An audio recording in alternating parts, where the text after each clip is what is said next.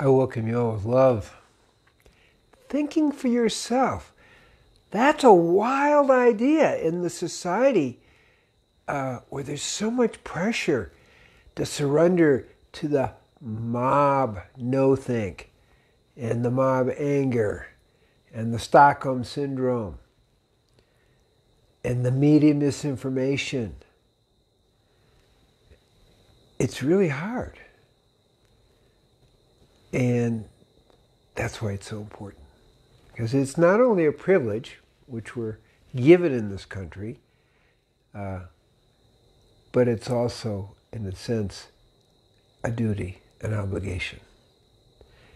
Because when we think for ourselves, it forces us to be aligned with our inner self.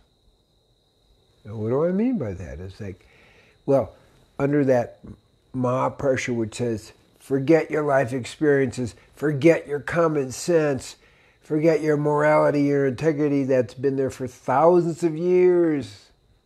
Uh, what are we saying? Hmm. Forget God. Forget your soul. Just react. And that's what we're seeing happening today. It's not a pretty sight. And that's the battle that goes on. It may look like it's an outer thing, but it's an inner thing. It takes a lot of courage to think for yourself. More than thinking, it takes a lot of courage to stand up and share your truth based on your soul experience, based on your life experience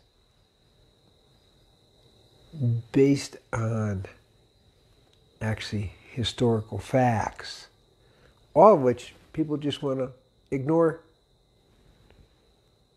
So we are being challenged today. I mean, we're really being challenged. And part of that challenge is the doubt. There's so many pictures, and, and, and the media creates so much doubt and the pressures from everybody. It's one big, massive Stockholm syndrome. It's like, what do we do? There's only really one solution for that. So there has to be a merging of our heart and mind, and that heart mind connection has to be with our own soul. Well, you can get high in a, in a mob situation. You can get high with destruction and rioting, but it's temporary because it's never based on truth. It's based on violence and anger, which is disconnected from the soul in a big way. So that's what we're facing today. Do we have the courage to think for ourselves?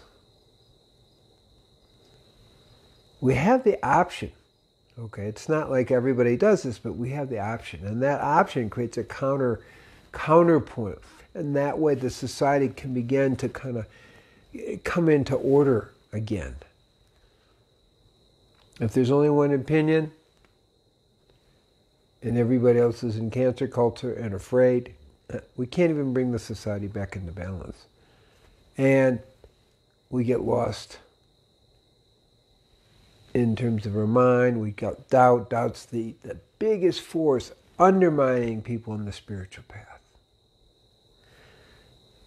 Spiritual path, holding our morality, holding our integrity, it does require that soul connection. It does require a certain amount of independence and thinking for oneself. May everyone be blessed to have the courage to think for ourselves, to connect to the cosmic and perennial you know, morals and ethics and truly fundamentals of spiritual life.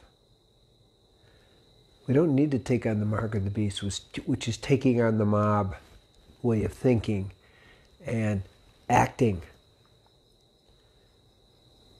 Our souls, our integrity as human beings is at stake. May everyone be blessed that we even understand that it is at stake and that we choose to merge our heart and our minds, to think for ourselves and express the inner truth based on our soul connection. Peace be with you. Shalom, shalom, shalom. Om Shanti, Shanti, Shanti. Om Adakyo